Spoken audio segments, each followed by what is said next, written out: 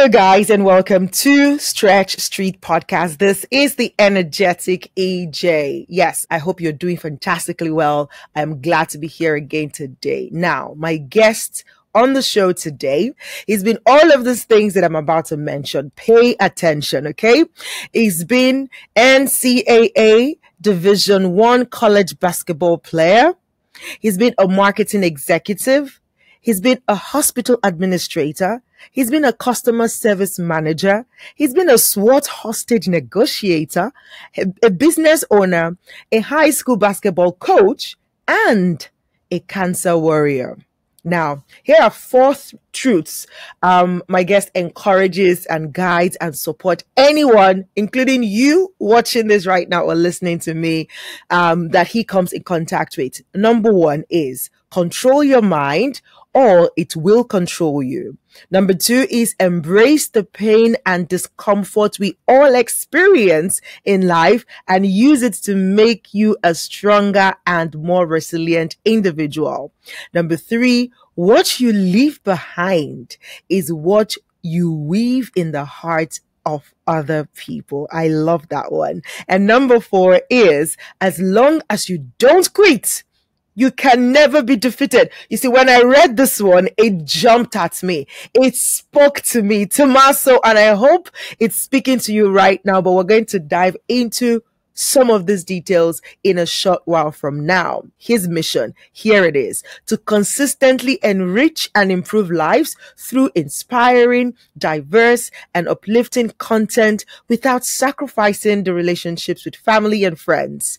This mission is accomplished by providing world-class speaking engagements podcasts like this one, radio and television interviews, daily blog postings, books, and coaching. Now he's been on over 600 podcasts. Talk about a pod star.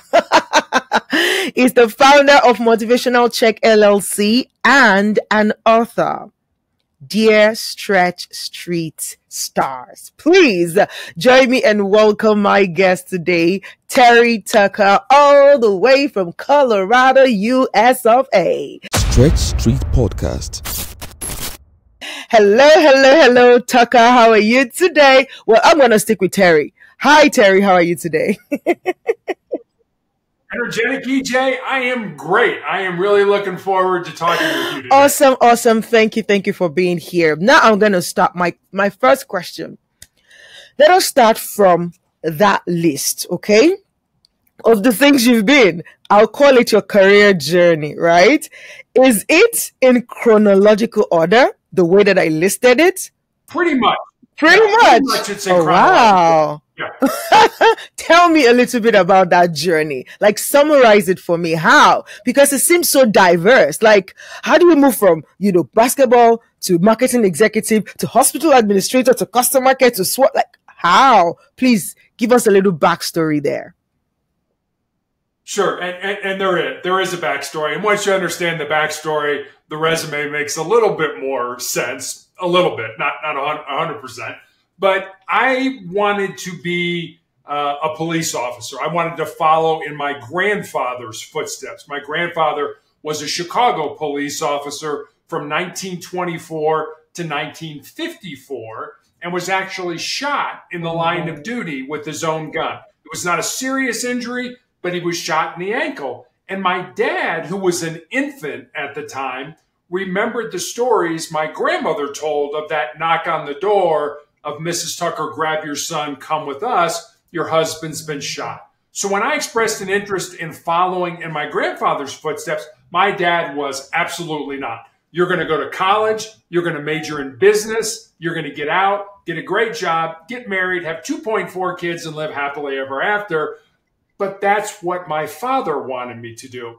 And when I graduated from college, my father was dying of cancer. So I had a major life decision to make. I could have said, Sorry, dad, I know you're dying, but I'm going to go do what I want to do and blaze my own trail and be a police officer. Or out of love and respect for you, I will do what oh, you want me to do. So the first two jobs were in business because that's what my father wanted me to do. And I sort of joke, I did what every good son did. I waited till my father passed away and then I followed my own oh dreams. Oh my gosh. I mean, it's it's why, Terry? This is such mixed feelings, right? It's almost like bitter, sour, sweet, like a mixture of everything. Oh my gosh. Wow. Wow, what a story. Now it makes, like you said, a bit of sense. Actually, a lot of sense. but thank you for sharing that story in such a, a, a, you know in a nutshell um for us today. So my next question for you is can you share with us the turning point moment when your four truths were developed? Now you have these four truths that you live by. I want to believe that you didn't just wake up one morning like okay now henceforth i am going to work with these four truths. No. No that in all honesty, it started out with three truths. And it started out with three truths because I was on a podcast that was your three three truths. And I'm like, well, I better figure out what my truths are if I'm going to be on a podcast and talk about them. So the the first three were control your mind, embrace your pain, and uh, as long as you don't quit, you can never be defeated. But the more I grew, the more I read, the more I learned, I really felt that that sort of fourth one, and we like things in threes, you know, A, B, C, Father, Son, Holy Spirit. I mean, we just like things in threes. But I really felt like I needed to add that fourth one, which is more of a legacy mm. type of truth. You know, about uh, you know what you leave behind is what you weave in the hearts of other people. And you know, the more I started to think about them, the more I started to develop them and and they are i call them the bedrock of my soul. They're i think just a good place to start to try to build a quality life That is so beautiful. That is so beautiful. Can you remember a particular moment you know apart from like the fourth one for example is there any particular event that kind of shaped those words for you to because if if, if it feels a little bit poetic like you know the way you live is how you weave in the heart of you know those you meet so it was there a particular moment or particular incident that made you craft that particular message I, I think that you know the the legacy type of one really kind of came to fruition for me when I developed cancer. I, I was diagnosed with with terminal uh, melanoma. I have a rare form of melanoma back in 2012. They told me that I would be dead in two years. Well, it's 12 years now, and I'm, I'm still not dead. But it's it's the the focus on the thinking about the being interested in, and this is going to sound weird, I'm sure to a lot of your audience, mm-hmm. death. You know, the the Stoic philosophers used to talk about memento mori, which is remember death. Remember that we're all going to die. And it's not so much the focus on the death part, what that should do is get you to focus on the living part, on how you live your life with some type of urgency, with what is your purpose in this world? We all have a purpose. I 100% believe that. We're not just here kind of walking around and then we die. No, there's a reason because you have unique gifts and talents. I have unique gifts and talents. My talents aren't yours. Your talents aren't mine but understanding what your talents, your gifts are, and then using them in some purpose in life is really why we've been put here. And so I think so many people just kind of muddle through their lives. They they never search for their purpose. They never look for it. They never, ever, ever imagine what it is like to be great mm. at anything, at anything. You know, making an omelet. You know, just what is it? What does it mean to be great? So many people never even think about that. Wow. Wow.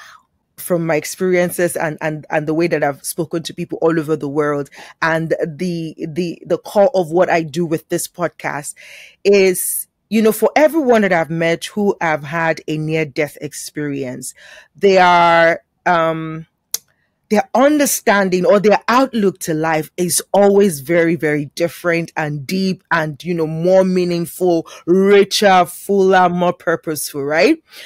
My question to you is right now, your reality, does it align, like your current reality, does it align with the vision you had while you were growing up, right? Or would you say, because again, you just talked about purpose, discovering it and everything, you know, on, on that journey to discovering purpose, it's, it's a journey. It's, it's something that you, you know, walk into. But for some, it almost feels like they kind of have a glimpse or uh, uh, like a what's that thing they call the blueprints or like you know something to work with was that the case for you so is your reality now in alignment with the vision you had for yourself no in all honesty it hasn't been and i i think we we tend to talk about purpose in the singular like it's one thing and at least in my life i found that i've had purposes plural that when I was young, I was my purpose was to be an athlete. I, I, mean, I loved basketball. I played basketball all the time. And then when I got into adulthood, I think my purpose changed in wanting to be in law enforcement and things like that. And now I think my purpose has changed even again as I'm, in all honesty, probably coming towards the end of my life to put as much goodness, positivity, motivation, love back into the world as I possibly could. And, and let me say this I, one of the nurses who I, I still am treated for cancer, I have tumors in my lungs. One of the nurses that takes care of me periodically is a former, former hospice nurse who took care of, of basically people at the end of their life, people who were dying. And she recommended a book to me called Imagine Heaven. And it's, it's, mm. it's a book about people who had, as you just talked about, near death experiences. And the mm. thing that I mm. took away from that book, I took a lot of things away from it, but the one thing that I found interesting in that book is that no matter who the person who had the near death experience encountered or saw, whether it was Jesus or God or an angel or a saint or a relative or a friend, the one right. question that everybody got asked was, how did you treat or how do you treat my people? In other words, how do we treat each other? How do we take care of each other? Mm. How do we care for each other? How do we love each other? And I'll be honest with you, when I was young, I was probably very selfish. You know, it was like, I just want to play basketball and it's all about me. And what I've come to understand now, it's not about me. It's about us. I don't do well by myself. I do much better when I'm in a group with other people. That is so fantastic. Thank you for sharing that with us. And when, you know, because this is, this podcast kind of document this, you know, really, because I mean, for you to have even like had the story and then you are now facing yours, you know, first of all, it's like the dream, what your dream wanting to be taken away from you. And then you're getting back on it. And then cancer is here trying to, you know, grab you away and everything. These are challenges. These are stretchy periods, right? Correct. The the one of the goal is to it distill the life lessons that you've learned. So now my question is I know your four truths. These are these must have come out from life lessons. But I want to ask if you have more tricks in your bag where we talk about life lessons that you have learned from your experience so far. I, I have, you know, and, and I think I think one of the things is we should always, and all of us should be lifelong learners. There should never be a point in time where we say, I know enough. You know, where, where I get out of school, well, I know everything I need to know about life. I don't. And what I thought, and I was totally wrong about this, was the more I read, the more I learned, the more I grew as a person, that I would have fewer and fewer questions, that my questions would be answered as I got smarter and I learned more about life. And what I find is the more I learn, the more questions I have. You know, they, it, it never ends. And, and it shouldn't be. I want to die learning. I don't ever want to get to a point in my life where I say, enough. I, I know enough because I don't think I do because there's always, life is always changing. There's always different people to meet who have different backgrounds, different experiences than mine. And, you know, a lot of times we tend to look at life as, you know, the, I, I talk about it in terms of perception uh, and perspective. Perception is mm. how we see the world. And that's based on our education, our background, our experience, our upbringing, our religion. But perception is how other people see the world. And if you focus mm. that, instead of looking at life the way you see it, if you can focus on the way other people see it, you will be so much more engaged. You will be so much more intelligent because it's like we have one focus. If we can broaden that focus on how other people view life based on the same thing we did, their upbringing, their education, their experiences, then all of a sudden we're continuing to learn because we all have different perspective. We all have different perceptions. Absolutely. I love it. I love it. I love it, love it, love it, love it, love it, because that is one of the, that is one of the blessing of what I do on this podcast.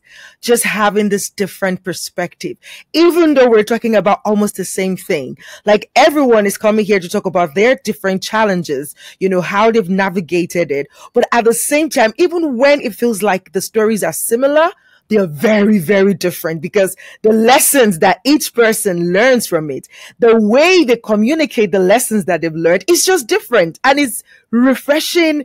It is, it just kind of tell how vast we are as humans. Like we are truly eternal because it can never end. Like you can keep talking to all seven or eight billion people in the world and there will be a different perspective. And I just love what you just said. Now, my um the next question for you as we are getting to uh, getting to you know round, round this up is is there any project you're currently working on that you want to share with us that you want us to know and, and, i say this because i mean you just said it in passing but it kind of hit me in a way, you know, when you said, you know, you still have, you know, two more in your lungs right now and you are aware and, and, you know, aware that, you know, time is ticking and everything. I just want to say what project are you working on that you want to share with us? Yeah, so uh, about four years ago, I wrote a book called Sustainable Excellence, and it's a book about success, which is what we do. How can we be successful? How can we as an individual be successful?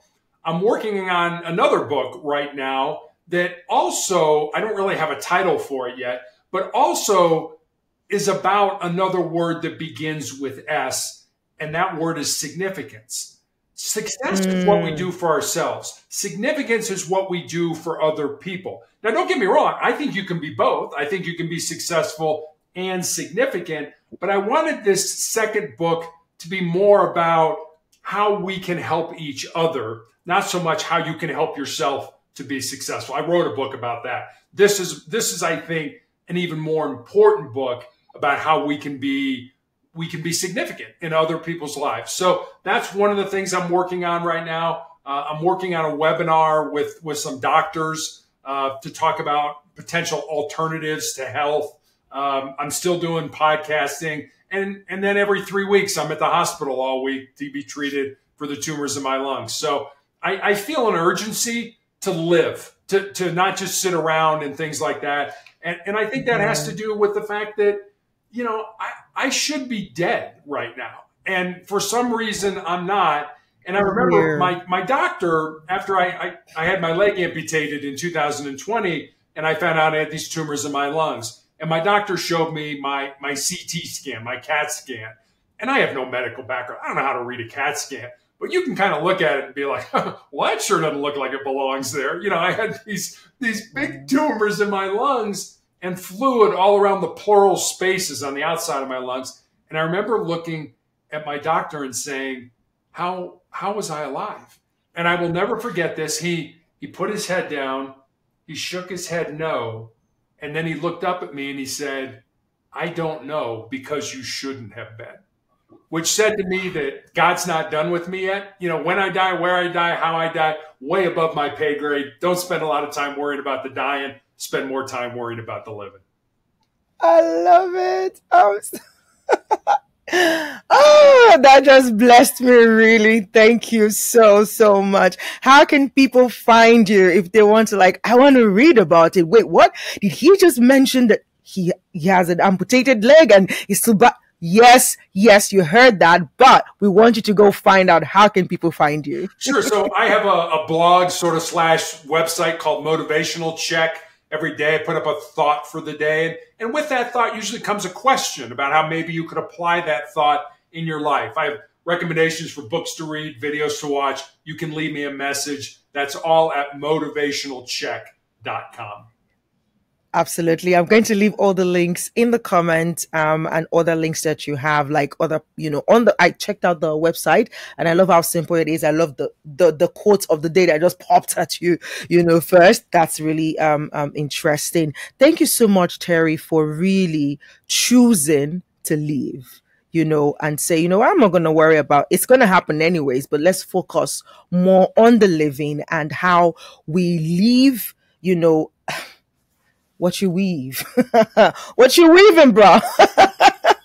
what are you weaving in the hearts of people around you? So thank you so much. Would you have any final words for anyone watching you right now and saying to themselves, maybe they're going through or they've also, you know, been diagnosed and given this news and they're downcast and they're wondering like, why? How can you speak to that person to help them find hope right now? Yeah, I, will give you a story, and, and this is a true story, and, and sort of hang with me for a minute because it's going to start out kind of weird. But back in the 1950s at Johns Hopkins University here in the United States, there was a professor that did a very, was doing experiments with rats.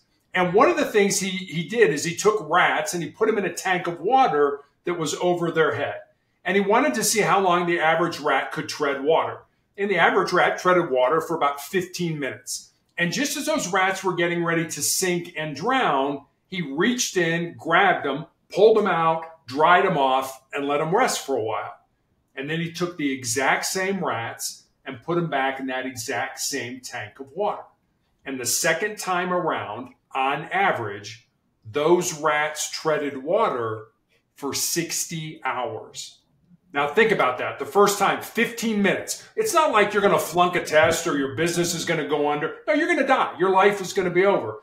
And the second time around, 60 hours, which taught me two things. Number one, the importance of hope in our lives. That if you know you're doing the right thing, maybe not today, maybe not this month, maybe not even this year, but if you know you're doing the right thing, there's a good chance somewhere down the road you will get to where you want to be.